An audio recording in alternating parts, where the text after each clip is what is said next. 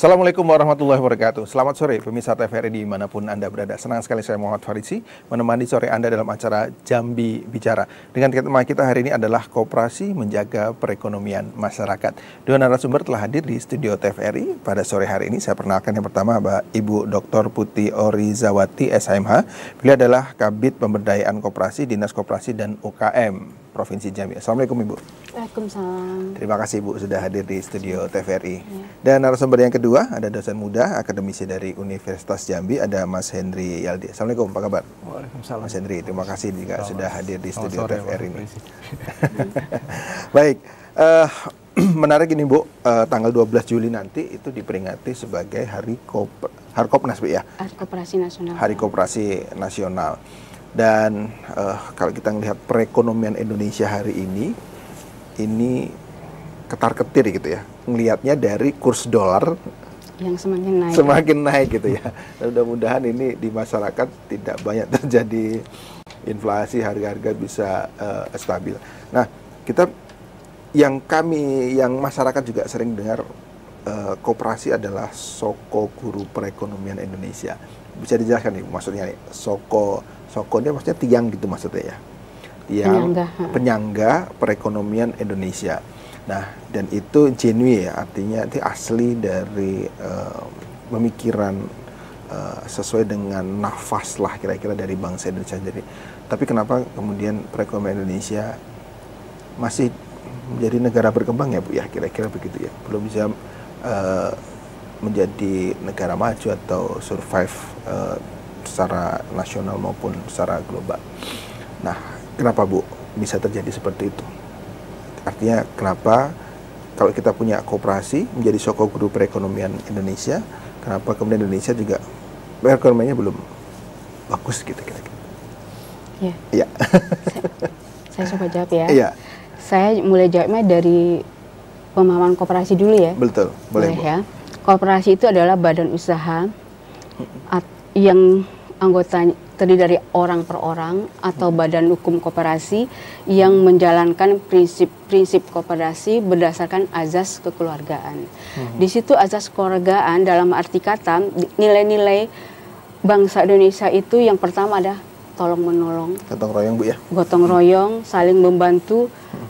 Uh, jadi orang yang ingin membentuk koperasi adalah mau sama-sama keperluannya. Hmm. Asal mula dulu waktu di Jawa Tengah itu Raden Arya hmm. membentuk koperasi itu adalah kebutuhan e, meningkatkan panen sapurodinya hmm. dia peralatan untuk menghasilkan panen karena kita kurang dan biaya dulu itu sangat mahal hmm. ada yang gotong royong hmm. gotong royong terus berkembang hmm. ini semakin baik pertemuan yang ada tiap minggu waktu itu menurut ceritanya ya hmm. terus berkembang adanya jadi timbul kooperasi yang namanya simpan pinjam di situlah terus hmm. bergerak dan berkembang hmm. sampai sekarang ini sampai akhirnya waktu tahun 1945 bangsa Indonesia ada namanya Bapak Kooperasi hmm.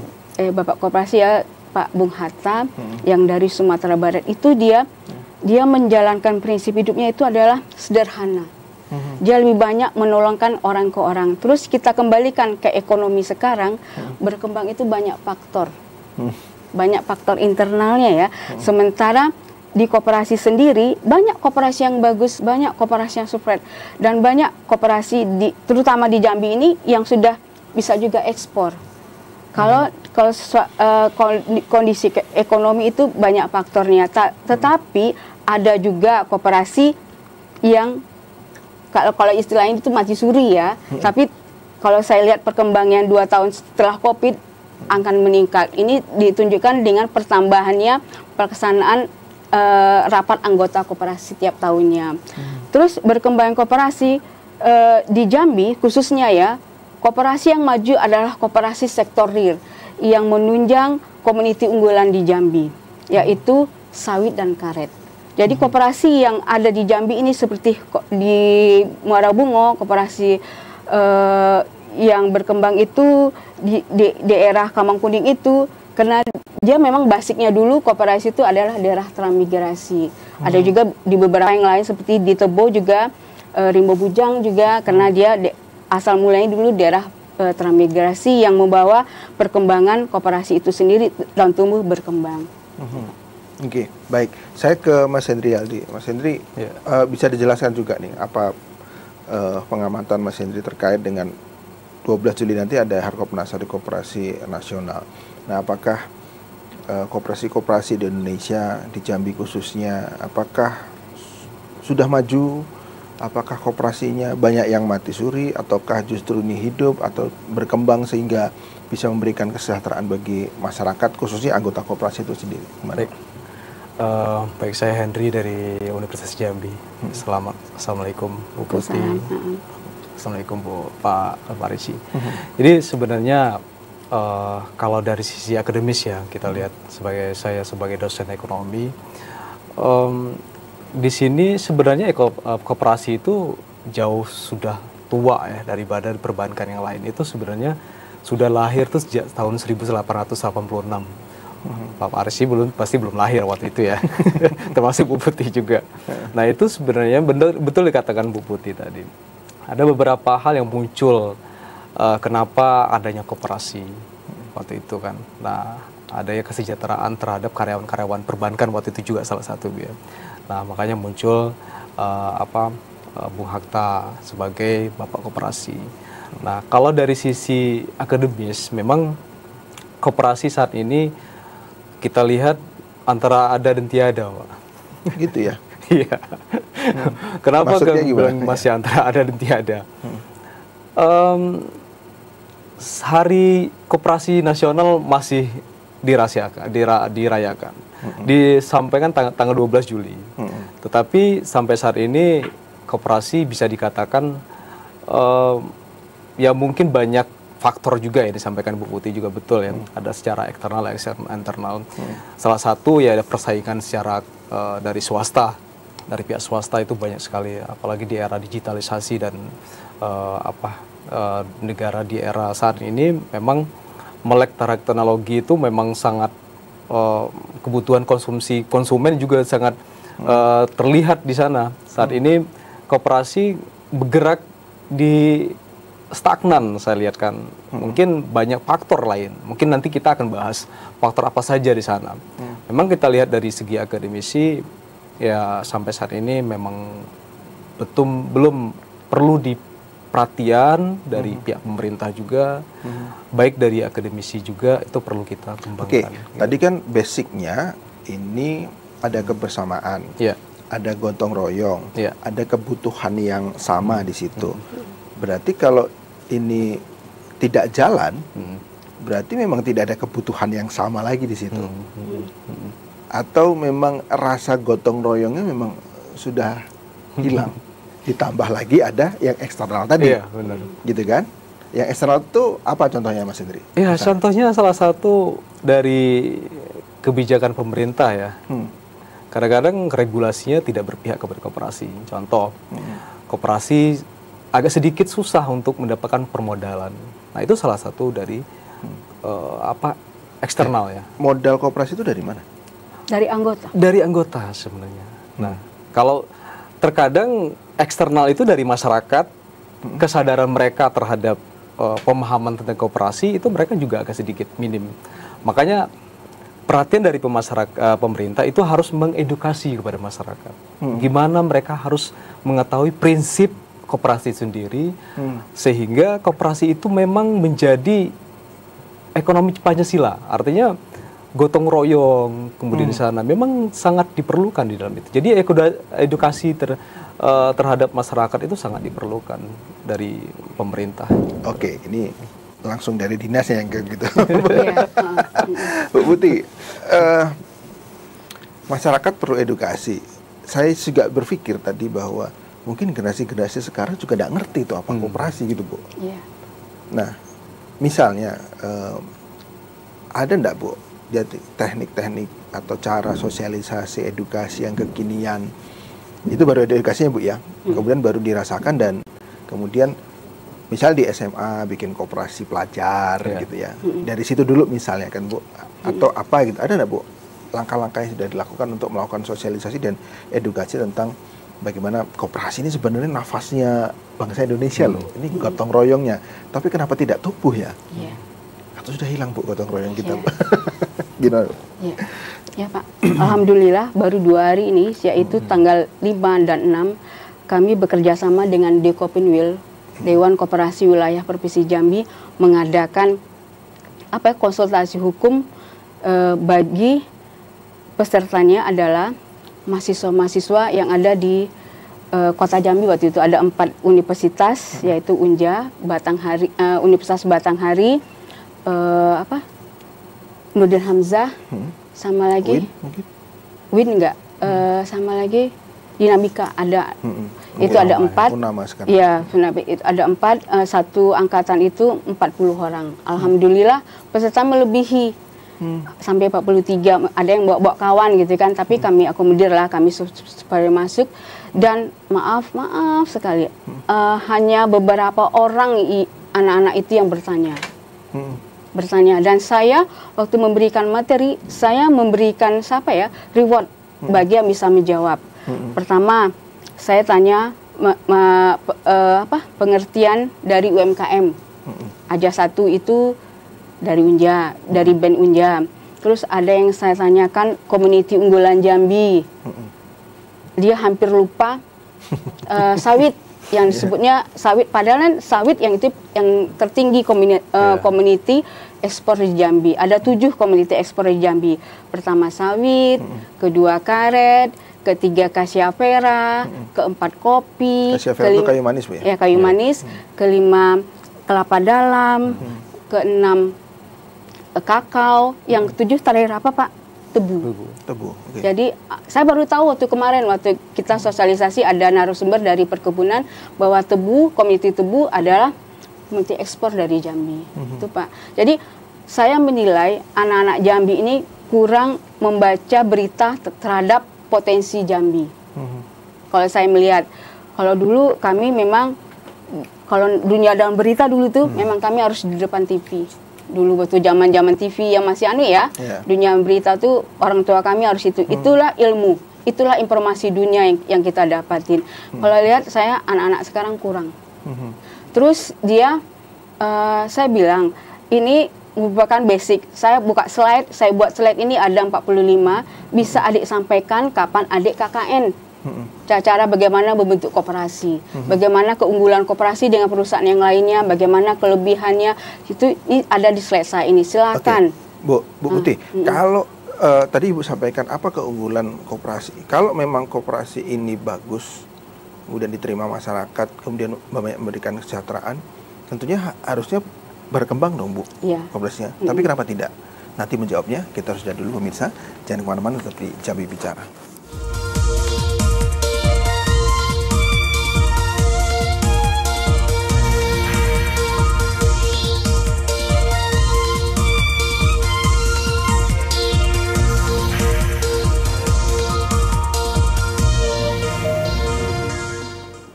Terima kasih pemirsa, masih tetap bersama kami di Jambi Bicara. Kita lanjutkan dengan tema kita hari ini adalah kooperasi menjaga perekonomian masyarakat dengan Ibu Putih dari Kabit Pemberdayaan Kooperasi. Jadi Bu, kooperasi ini keunggulannya apa dibandingkan dengan eh, lembaga-lembaga yang lain? Ada perbankan misalnya.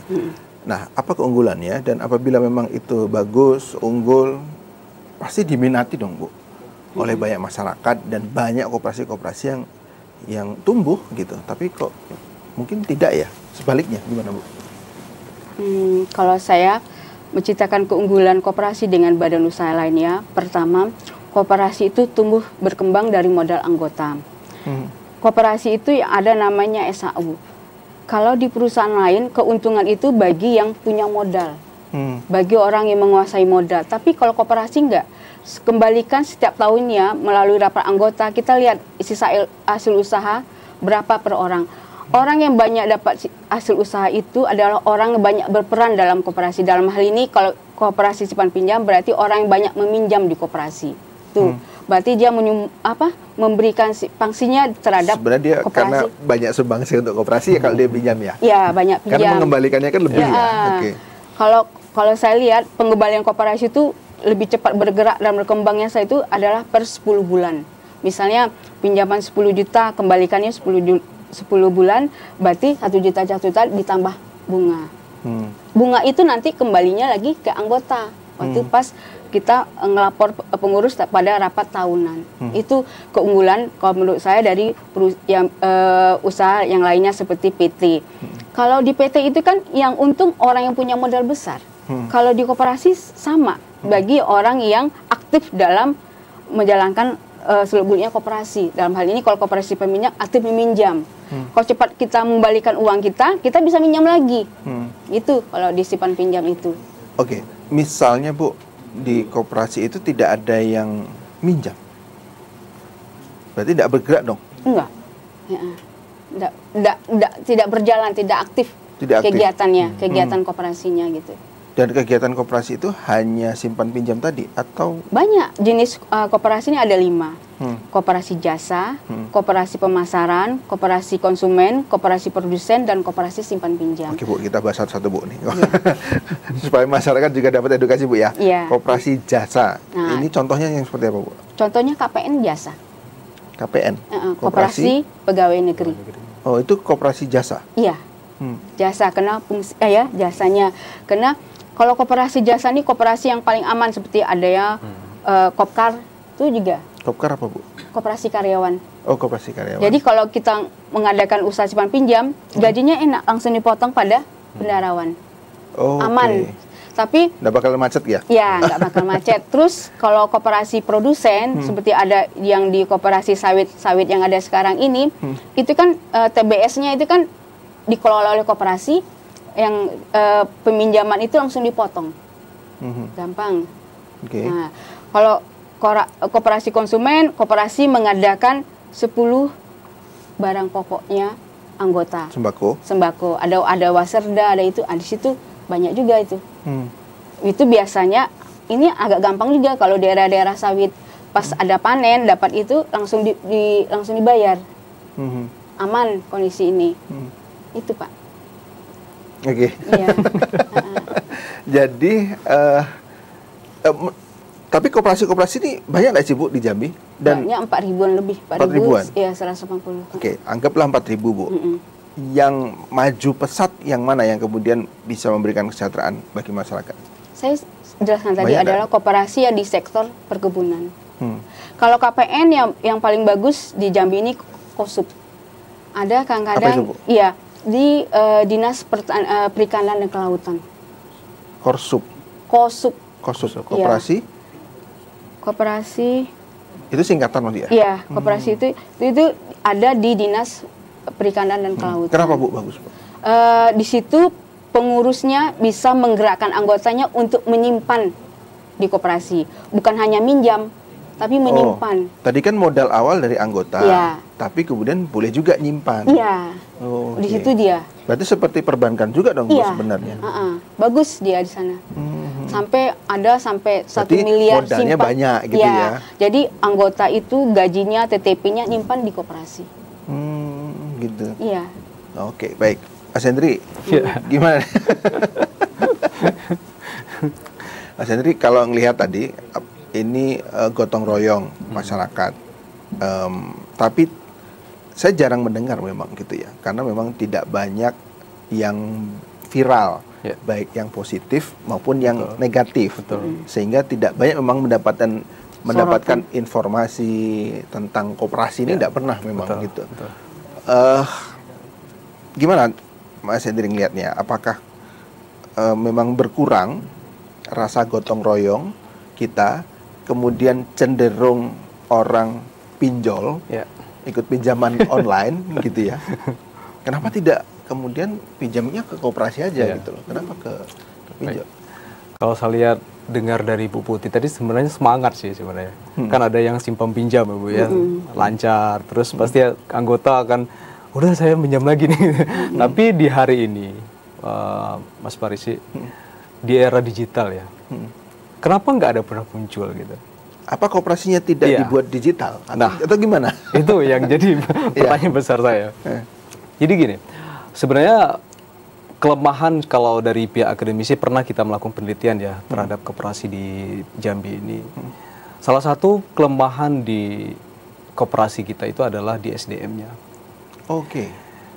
Tadi Kurang- Bu Putih bilang yang dinas tadi bagus karena pengelolanya bagus gitu Iya. Bu, ya. Oh, berarti SDM-nya nyambung nih. Nah, SDM-nya, SDM-nya eh, kurang ada literasi digital, Hmm. sehingga seharusnya kan koperasi harus mengikuti era di ja- Ya. eh, zaman ya. Apa kebutuhan dari perilaku konsumen sekarang udah beda lagi s- tahun 10 tahun sebelumnya, 10 tahun sebelum 20 tahun sebelumnya. Itu saat ini mereka pengennya lebih main klik-klik aja bisa transaksi, bisa Ya. di kan seperti itu ya. Nah, coba di eh, harapan kita kepada pemerintah ya seperti itu. Gimana cara untuk eh, karyawan nanti melakukan kerja profesional, transparan, akuntabel itu berdasarkan secara internet digital. Nah, artinya semua transaksi yang ada dalam itu secara digital dan bisa digenggam.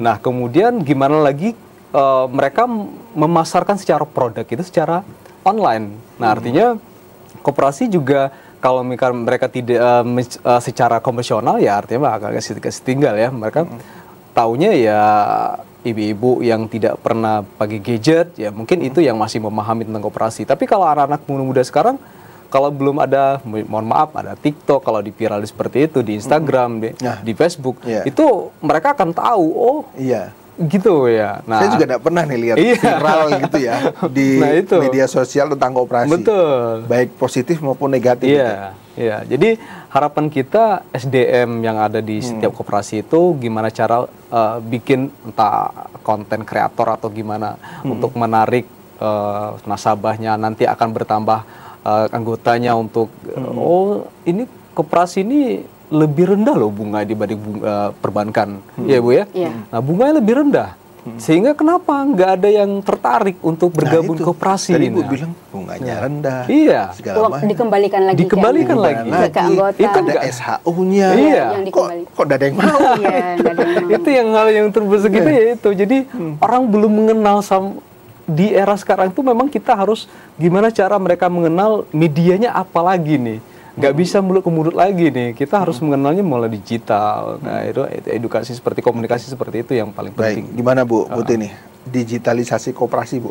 Sudah atau baru akan atau bagaimana? Bu? Eh, dibilang sudah jelas karena sasaran dari Kementerian Koperasi dan UKM itu adalah koperasi modern, ya. Koperasi yang melek eh, apa ya eh, digitalisasi di, dalam sistem termasuk juga sistem simpan pinjamnya harus jadi eh, anggota tahu berapa eh, simpanan mereka di koperasi, berapa jumlah yang akan dibayar, utangnya akan dibayar tahun eh, bulan depan itu sudah ada sistemnya sini. Nah, sistem sistem eh, sistem koperasi. Eh, di Jambi sudah banyak yang kategori koperasi modern. Lagi-lagi saya bicarakan koperasi modern banyak terletak di koperasi sektor perkebunan. Tapi ada juga di KPN-KPN, termasuk juga KPN Kosup, ada juga KPN yang bagus ini eh, rumah sakit DKT, itu termasuk bagus operasinya dan usaha cukup banyak. Itu termasuk koperasi apa ya? Konsumen juga, jasa juga ada di situ. Eh, ada koperasi yang bagus di rumah sakitnya Sungai Penuh. Dia eh, usaha yang berkembang itu di catering rumah sakit. Koperasi yang melayani catering rumah sakit dan uh, SAU-nya cukup besar dan dikembalikan ke anggotanya alhamdulillah cukup besar. Membalikannya setahun sekali Bu ya? Iya, setahun sekali Di dihitung. bulan Eh, biasanya sih di, Di di tahun. Januari, tapi biasa-biasanya sih waktu kita mau bulan puasa dibagi. Hmm, Jadi untuk menambah kebutuhan di bulan puasa SAU-nya itu. Oke, Mm-mm. baik Bu. eh saya jadi penasaran ini. Bagi SHU-nya berapa Oh, itu ada pembagiannya? pembagian SAU ada di anggaran dasar. Biasanya Hmm. kalau koperasi yang bagus itu eh, untuk anggotanya sekitar eh, Berapa 50 sampai 60 persen. Untuk pengurus dari dari total 100 persen dari SAU yang yang dapat tahun itu. Hmm. Nanti untuk eh, untuk pengurusnya ada 15 persen. Itu Hmm. ada pembagiannya untuk pengurus, anggota, cadangan. Dan untuk- itu sama seluruh Indonesia. Oh enggak, tergantung kesepakatan waktu pembentukan eh, eh, di Oh, anggaran oke. dasar tadi. Beda, Pak. Mhm. Tergantung kesepakatan waktu saat pembentukan koperasinya. Oke, baik. Bu, tadi kan Ibu sampaikan ada beberapa tuh yang bagus. Mm-mm. Berarti SDM-nya dong Bu yang bagus. Iya, Nah, jadi harus harus punya SDM yang SDM yang bagaimana yang bagus yang harusnya mengelola koperasi sehingga koperasinya hidup? SDM itu tuh ada SDM yang mengerti seluk-beluk koperasi. Eh, Sebagai pengurus dia punya tanggung jawab dan mengerti apa tugas dari pengurus. Sebagai pengawas koperasi dia mengerti apa eh, tanggung jawab eh, pe- pengawas koperasi. Kalau pengurus itu kami dari dinas koperasi aja dana DAK untuk pendidikan aja tahun ini 4 miliar eh, 4 miliar koma, koma 4 Hmm. Besar. Ada 40 angkatan pelatihan. Tapi itu terbagi juga untuk kewirausahaan ya. Tapi Hmm. fokus kebanyakan untuk koperasi untuk pengurus koperasi karena koperasi ini di anggaran dasarnya penggantian pengurus itu yang bisa-bisa timbul masalah. Hmm. biasanya itu di anggaran dasar itu ada sekitar tiga tahun sekali pak. Tapi boleh di dipilih kembali. Hmm. banyak koperasi yang bagus sekarang hancur karena diselewengkan oleh pengurus Nah, itu. Iya, Nah. itu jadi manusianya, Oke. bukan koperasinya ya Iya. Pak ya, manusianya. Oke, Mas Hendri, eh, gimana menurut Mas Hendri terkait dengan SDM? SDM yang yang bagaimana? Saya lihat tadi memang sepertinya di SDM nih, baik SDM untuk organisasinya maupun yang melek eh, digital. Saya juga belum pernah lihat nih, misalnya Pak Gubernur ngevlog atau apa gitu. Iya. Ayo nabung atau apa di koperasi. Belum lihat saya. Karena saya follow juga akunnya Pak Gubernur, tapi tidak pernah lihat Pak Gubernur ngomongin koperasi gitu. ya. Iya. Gimana menurut Hendri? Tapi nanti menjawabnya kita harus jeda dulu. Pemirsa tetap di Jambi Bicara.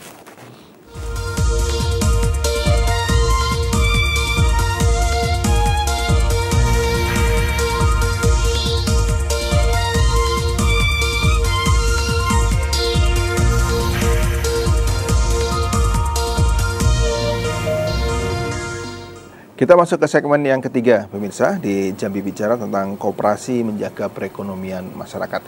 Saya lanjutkan kembali pertanyaan ke Mas Hendri Yaldi akan misi dari Universitas Jambi.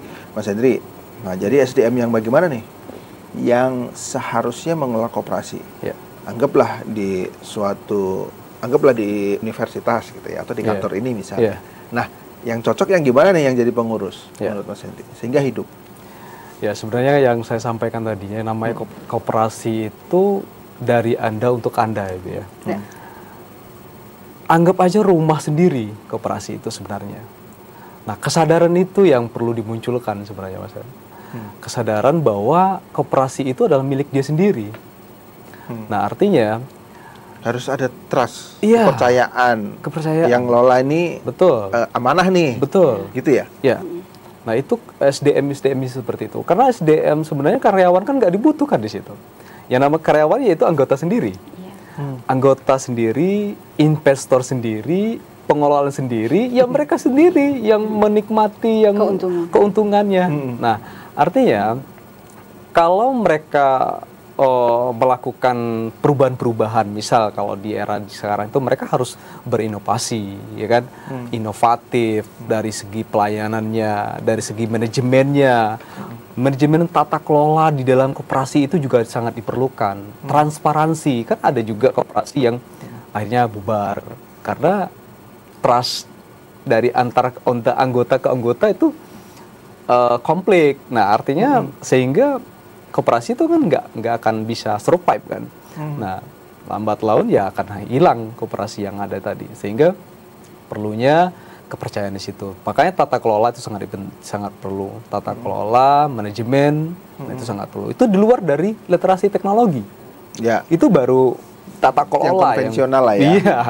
Tata kelola yang dasarnya, tugas ketuanya apa, anggotanya apa, terus pemegang keuangannya gimana. Nah, itu kan sangat diperlukan SDM. Nah, selain itu kalau karena di era sekarang sangat dibutuhkan digital, yang memang harus salah satu di dalam itu orang yang salah satu melek teknologi yang bisa memberikan transaksi-transaksi secara media, secara digital juga kan. Nah, karena sehingga layanan itu cepat, secara efisien dan efektif yang yang kita butuhkan sekarang ya. Karena ada beberapa yang saat ini konsumen atau anggotanya nggak mau keluar di rumah aja. Ya udah kita rapat dari lu- di rumah aja, atau kita melakukan transaksi dari rumah aja. Nah gitu, biar nggak lebih efisien aja. Nah, Ya. nah itu yang belum kita lihat sampai saat ini. Nah, Kalau kita ngelihat iya. perbankan Iya. itu udah cor-coran ya. betul. Kayak teknologi ada klik Nah, pokoknya segala iya. macam ya. Nah, banyak ada aplikasi. pembayaran pakai Iya. QRIS, Nah, kris, macam-macam selain gitu. itu, koperasi itu juga membutuhkan kerjasama. Itu sangat diperlukan. Nggak bisa mereka cuma mengelola dengan anggota sendiri. Mereka perlu kerjasama juga. Kerjasama dengan apa ini maksudnya? Pihak, Pihak lain. pihak lain, pihak sektor lain, pihak uh, Contohnya? swasta. Misal mereka untuk me- untuk menambahkan modal. Nah, perlu investor-investor yang yang tertarik untuk memberikan uh, dana. Nah, kalau kerjasama kita baik, otomatis uh, relasi kita juga akan meluas kan.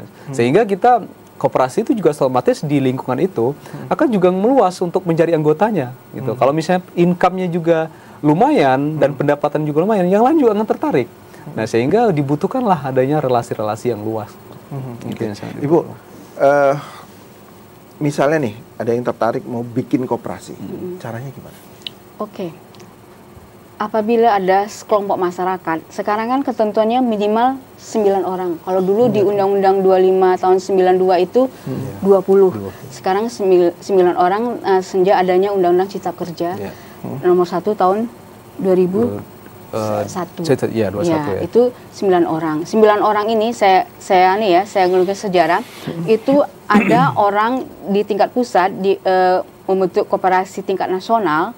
Koperasi ada dua, eh, koperasi yang kabupaten kota, koperasi provinsi, dan koperasi nasional. Kalau kabupaten kota yaitu satu wilayah aja anggotanya, KTP-nya satu wilayah Satu kabupaten. satu kabupaten atau satu kota.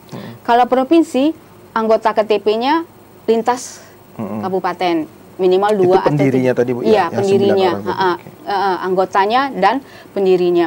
Kalau eh, koperasi level nasional, lah itu lintas provinsi. Banyak ini yang di Jambi aja banyak sudah itu ya. Terus kalau kita mau mendirikan, kita kelompok itu bersurat kelompok masyarakat itu ke dinas koperasi setempat. Kalau dia levelnya provinsi, misalnya lintas kabupaten, anggotanya ke provinsi. Kalau hanya di kabupaten, dia bersurat ke dinas kop- eh, kepe- koperasi kabupaten untuk menjadi eh, penyuluhan per- koperasian. Wajib hadir, kalau sudah wajib datang dinas koperasi untuk menyuluh bagaimana membentuk koperasi. Hmm. ya. Bagaimana membentuk koperasi dan apa yang harus di, dikembangkan terutama menyangkut modal koperasi yaitu simpanan pokok simpanan wajibnya. Ditentu dituliskan berapa nama koperasinya usahanya apa dan ketentuan bagaimana pembagian si- eh, SAU-nya ada tuh ada format yang harus diisi dan sekarang karena badan hukum dia sekarang pembentukan koperasi itu di akta notaris dan disahkan oleh Menkumham Iya. dalam berita negara. Biayanya berapa bu? Kalau mau Oh, bikin itu koperasi? biayanya biaya yang ke notaris pak. Hmm. Kalau di dinas koperasi nggak nggak ada biaya. Biasanya itu kalau sekitar 6 jutaan sampai 7 jutaan ke notaris. Hmm. Itu aja. Oke, bu. eh, koperasi ini kan tadi ada simpan pinjam. Mm-mm. Ad- Kalau kalau kan berhutang lah, kira-kira gitu bu ya. Iya. Kalau tidak ada yang berhutang, tidak ada yang pinjam, tidak ada tidak ada usaha lain. Bisa. Ada yang lain eh, konsumen Mm-mm. misal eh, memberikan barang untuk kebutuhan pokok, Jual beli. ya jual beli yang konsumen. Artinya, ski koperasi itu punya toko, kira-kira Iya, begitu. heeh. Waserda, Apa itu bu? Warung serba ada. Oh, waserda. Iya.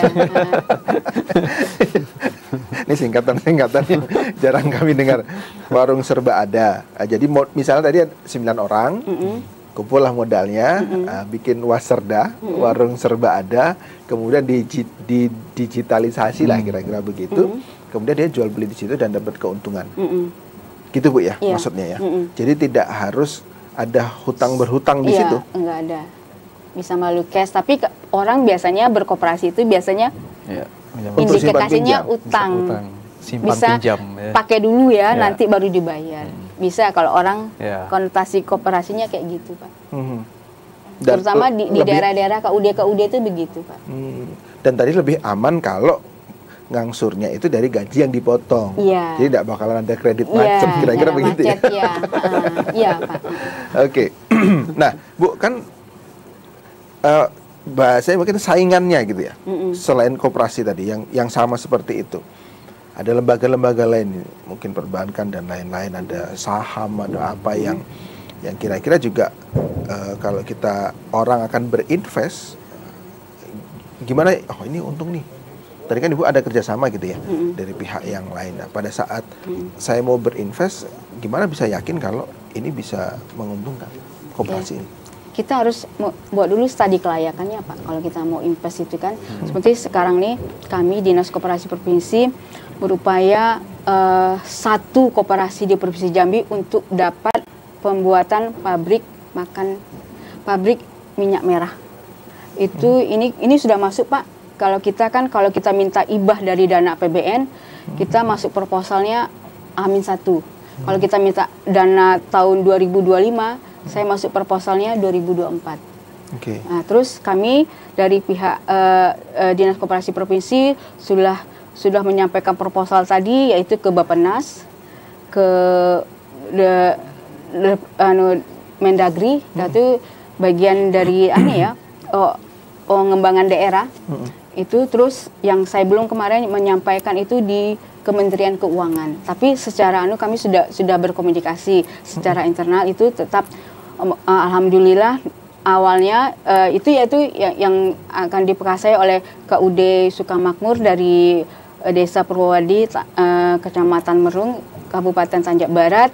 Mm, Ketua Oke. koperasinya Sustejo itu telah men, men apa ya me- mempresentasikan keunggulan-keunggulan dari koperasi itu terus yang layak untuk dapat dapat bantuan pembangunan pabrik minyak makan merah Uh, dan kami memberikan rekomendasi karena koperasi itu grade-nya A karena bagus Manajemen pengelolaannya bagus, bagus, segala macam. dia gitu. sudah digitalisasi, eh, simpan pinjamnya oke, dan anggotanya seribu lebih. Makanya ketua koperasinya bisa jadi anggota dewan, Hmm. karena didukung oleh anggota keluarga dari anggota Ya, koperasinya dari oke. Partai Gerindra.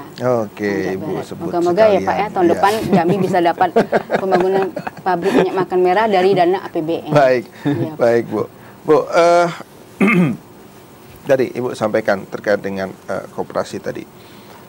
Berarti hanya misalnya eh, kalau perbankan kan tadi untuk semua orang Bu ya. Iya. Kalau koperasi yang misalnya simpan pinjam hanya untuk anggota. Anggota. Maka kalau ada orang luar yang mau pinjam, berarti harus jadi anggota dulu. Iya.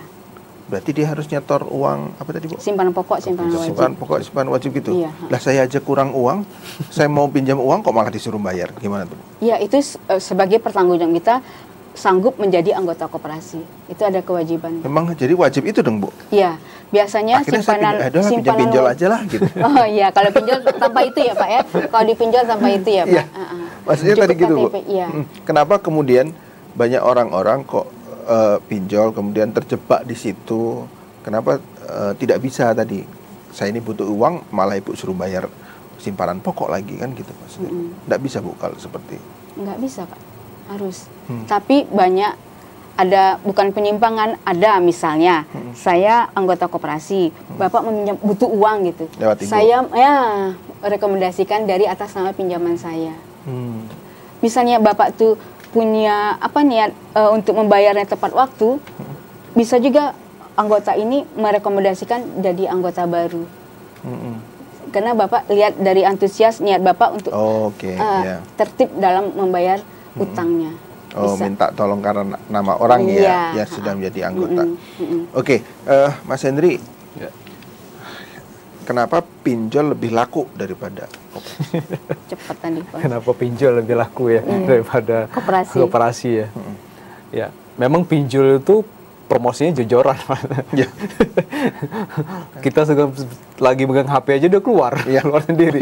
Buka YouTube aja keluar sendiri kadang-kadang. Gitu ya. Nah, apalagi orang yang sering memang min- eh, minatnya ke pinjol keluar lagi tuh. Nah, kalau koperasi sampai sekarang orang nggak tahu tuh koperasi di mana. Nah, artinya sebenarnya kalau kita analisa sendiri, koperasi itu lebih menguntungkan daripada pinjol kan. Pinjol itu bunganya luar biasa. Nah, itu. Nah, makanya mereka kadang-kadang nggak mampu bayar. Nah, akhirnya terjadi kasus macam-macam lah kasusnya kan. Tapi kalau untuk koperasi itu memang ada namanya sistem kekeluargaan di situ. Jadi artinya ada masa toleransi selagi koperasi itu bisa berjalan dengan aman ya. Nah, artinya yang kredit macet tadi ada Iya, kredit macet toleransinya itu gitu. ada kekeluargaan di situ. Nah, sistem kekeluargaan lah itu yang yang di dalam eh, apa uh, koperasi itu yang prinsip itu jangan memang sangat di- diterapkan ya. Uh, karenanya nama gotong royong ya. Mas Hendri ikut koperasi apa nih ceritanya? Gimana? Ikut koperasi apa? Di Uda nggak ada lagi koperasi. Iya di Uja kemarin sempat ada ya. Iya, ya sekarang kayak masih masa transisi kayaknya koperasinya. Oke, Bu. Kalau tadi saya tertarik nih. Eh, Kalau saya ikut koperasi, saya ikut sebagai in- anggotanya, investornya, atau jadi apa? Karena kan saya, misalnya nih, saya nggak hobi ngutang nih. Mm-mm. Nah, kalau saya ikut koperasi, terus saya untung di mana nih? Kalau saya hanya tadi ngasih, Nyimpan aja. ya misalnya, Tidak pernah eh, minjem boleh. ya misalnya tadi apa uang wajib ya, Bu, apa? Ya simpanan wajib, simpanan pokok. Ah, oke. Terus saya dapatnya apa? Misalnya Anu. cuma ikut itu saja. Dapat anu selisih juga kalau kita itu kan nanti di- dihitung. Sisa hasil usaha tadi. Iya, dihitung, semua dihitung. Hmm. Apalagi Bapak hanya berniat hanya nyimpan aja di koperasi. Wah, itu Mm-mm. lebih besar. Hmm, gitu. Iya. Jadi seperti Iya, menabung di koperasi iya, ya. Iya, betul menabung di koperasi. Jadi yang menabung lebih besar bunganya ketimbang yang minjam. Hmm. Harus gitu supaya makanya posit itu bagus koperasinya. Dia mem- bisa memberikan pelayanan pada anggota begitu. Jadi anggota itu percaya banget kalau nyimpan di koperasi. Nah, Ngapain nyimpan di bank kayak anu apa riba? Mm-mm. Apakah koperasi riba? Nah itu, Iya. itu yang tadi masih ada waktu yang mau saya tanyakan. Iya. Apa ada koperasi syariah Iya, atau ada. koperasinya koperasi konven ada yang syariah itu gimana Iya, bu? Ada itu Pak. Jadi sekarang semenjak adanya Undang-Undang Nomor 1 tentang Cipta Kerja itu Hmm. dilanjuti dengan PP Nomor 7 tahun 2021 tentang perlindungan Hmm. dan pengawasan terhadap koperasi dan usaha kecil mikro dan menengah di Indonesia ini bahwa eh, Kementerian Koperasi itu lebih menganukan ke koperasi pola syariah karena sebagian besar penduduk Indonesia adalah Islam. Itu ko- pola syariah terus tapi banyak tahapnya, Pak. Karena di pola syariah itu ada dewan syariah ya. Ada dewan syariah itu baik di tingkat kabupaten, provinsi maupun nasional. Sekarang kita masih mempelajari me, apa ya? Pola syariah itu memang agak agak ribet. Hmm. Kalau bagi saya agak ribet bagi beda dengan konvensional ini. Tapi mendorong untuk ke depannya koperasi itu ialah koperasi khusus simpan pinjam ada pola syariah, Pak. Hmm. Itu, Pak. Oke, Mas Hendri gimana nih? Ada bank konvensional syariah, koperasi juga konven ada yang Iya. syariah. Ya sebenarnya kita dari pihak Aka- akademisi. apakah nanti akan ya. lebih menjual? Hmm. Gitu ya? Ya, eh, semuanya semuanya sangat berpotensi untuk terjual ya, menjual ketika sistem mereka itu eh, teratur. Artinya balik lagi gimana cara mengoperasikan koperasi itu sendiri. Oke. Mau mau itu konvensional atau syariah. Hmm.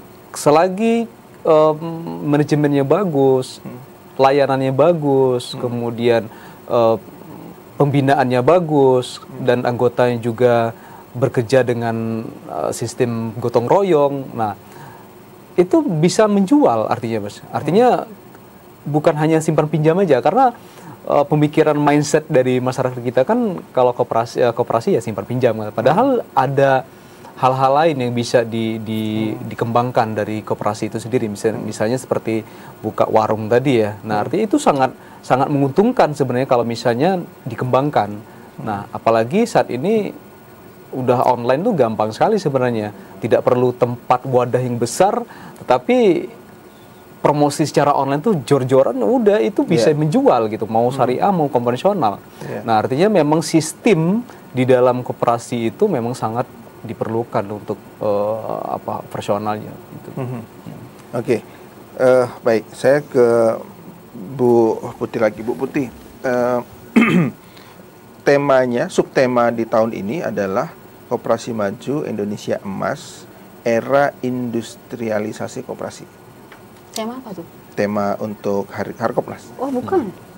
Ini itu saya bawa. Oh ya, gimana Bu? Berarti temanya? Eh, ini sesuai dengan surat edaran nomor 8 tahun 2004 dari Sekretaris Menteri Negara.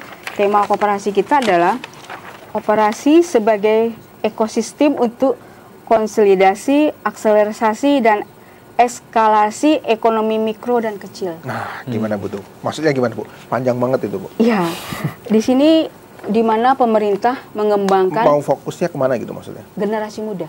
Oh, oke. Ya, generasi muda itu yang bisa inovasi, Ya. kreatif. dan bisa uh, Maksudnya generasi muda banyak yang mendirikan koperasi? Iya. gitu? Jadi yang eh, belum saya sampaikan tadi ya, dari 20 ke 9 orang tadi bahwa ada 9 orang eh, pengusaha di Jakarta itu mau mau ekspor, terutama bidang garment waktu itu. Oke. Dia ke Dubai ada beberapa negara. Cuman karena 9 orang itu tidak bisa bentuk koperasi, dia terus ber apa ya curhatlah kepada Kementerian Koperasi. Akhirnya Kementerian Koperasi berdiskusi dengan DPR dengan ini Akhirnya yang Akhirnya- 20 jadi 9. Ya, karena untuk cari 20 orang yang sehati, yang sejiwa itu agak lama. Iya, Perlu iya. waktunya hanya kita hanya bisa 9 orang. Itu Pak, 9 orang itu. Jadi 9 orang itu tiga pengurus, tiga pengawas, yang tiga itu sebagai anggota biasa. Mhm. Tuh, makanya ter- terjadilah anggota koperasi itu bisa 9 orang kena yang jumlah kecil bisa untuk mengembangkan yaitu dalam kelas yang besar yaitu ekspor Oke. waktu itu tentang garmen itu Pak. Oke. Terus di, di Kementerian Koperasi sendiri ingin mengembangkan koperasi itu, ingin koperasi itu tumbuh dan berkembang dengan koperasi yang modern dan sehat. Karena generasi muda ini adalah yang selalu punya inovasi, kreatif dan bisa mengikuti tantangan zaman. Ya. Eh, dengan era globalisasi ini ya, transformasi ini termasuk dengan tujuan koperasi modern di mana kita berharapkan ekosistem kita dari mana anggota koperasi itu adalah UMKM, usaha mikro kecil, kalau kita kan rentan. Rentan karena dia banyak kekurangan. Terutama eh, kekurangan teknologi, kekurangan modal dan apa ya? Eh, produktivitas juga kurang. Dengan anak-anak muda yang sekarang ini, kami mengharapkan Kementerian Koperasi termasuk juga Dinas Koperasi bisa tumbuh dan berkembang. Makanya kemarin sasaran kami dalam sosialisasi yaitu mahasiswa-mahasiswa. Oke. Itulah sebabnya kemarin. Apakah ada percontohan koperasi yang dikelola anak muda Hmm. dan berhasil? Yang tadi yang yang di, tapi itu koperasi pusat ya. Hmm. Koperasi yang yang, tadi anak-anak muda bu ya? Iya, anak muda itu. Oh, Oke. Orang Padang kayaknya Oke. dia. Koperasi apa bu namanya? Eh, yang koperasi dia namanya Padang waktu itu. Hmm. Di, saya- ka- kami dikasih tahu oleh Kementerian Koperasi Sejunjung apa itu? Dia eh, Di di mana itu bu? pusat di Jakarta. Oh di Jakarta. Iya. Dikelola anak muda. Iya. Oke, nanti kita browsing, nanti kita sampaikan lagi. Mbak Iya. Michelle jangan ke mana-mana. Iya. Tetap di Jambi Bicara.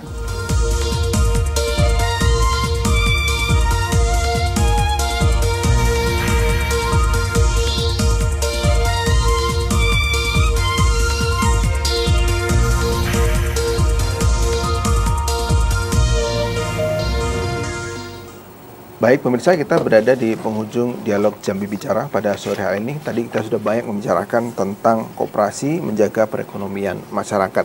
Mas Hendri, apa kesimpulan dari dialog kita pada sore hari ini dan apa yang ingin Mas Hendri mungkin eh, share nasihat atau apa kepada masyarakat terkait kooperasi?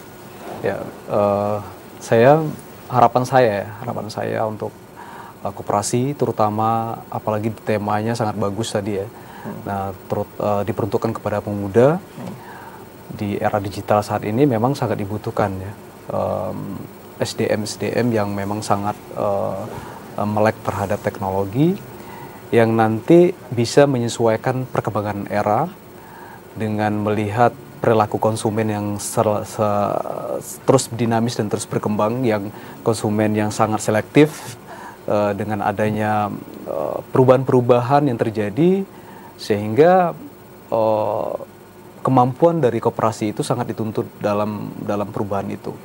Maka harapan saya eh, pemerintah itu kalau bisa membuat regulasi itu jangan sangat eh, apa em, berpihak kepada koperasi ya, Iya. ke koperasi dan masyarakat pun eh, paham tentang teknologi terus mengedukasikan dan kita dari akademisi juga sering melakukan edukasi terhadap eh, masyarakat untuk mengetahui ke- pentingnya koperasi di era saat ini karena em, kita itu ekonomi Pancasila itu sangat diperlukan seperti gotong royong. Baik, Mungkin. terima kasih Mas Hendri. Terakhir Ibu Putih, Ya. apa yang disampaikan kepada Diharapkan masyarakat? eh, tanggal 12 Juli ini yaitu koperasi berulang tahun yang ke-77 77. Dengan tema tagline-nya itu koper- koperasi pemberdayaan dengan harapan generasi muda yang akan datang bisa tumbuh dan berkembang membentuk koperasi yang mempunyai inovasi kreatif dalam usaha mengembangkan terutama community lokal daerahnya, terus berkembang untuk ekspor lebih lanjutnya. Oke. Baik, sekali lagi terima kasih Bu Putih sudah hadir, Mas Hendri juga sudah hadir memberikan banyak informasi dan edukasi kepada masyarakat terkait dengan Hari Koperasi Nasional 12 Juli nanti. Terima kasih pemirsa atas perhatian Anda. Saya Muhammad Farisi, saya akhiri Assalamualaikum warahmatullahi wabarakatuh. Sampai jumpa.